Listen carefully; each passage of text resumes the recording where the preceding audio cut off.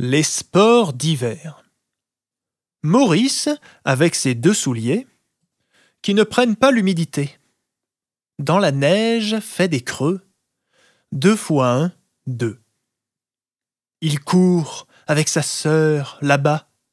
Deux fois deux font quatre pas. Les voilà sur un mur assis.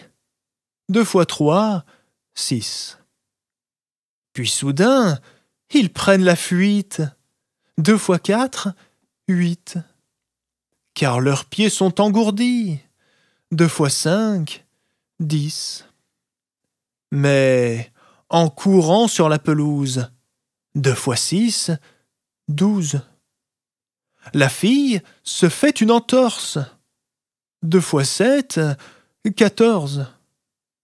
Le garçon n'est pas à son aise. Deux fois huit, seize. Il crie Hé là Vite Vite Deux fois neuf, dix-huit.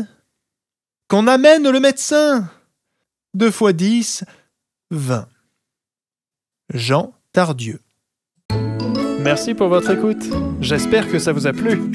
Abonnez-vous pour revenir me voir et laissez-moi un commentaire. Ça me fait super plaisir de vous lire.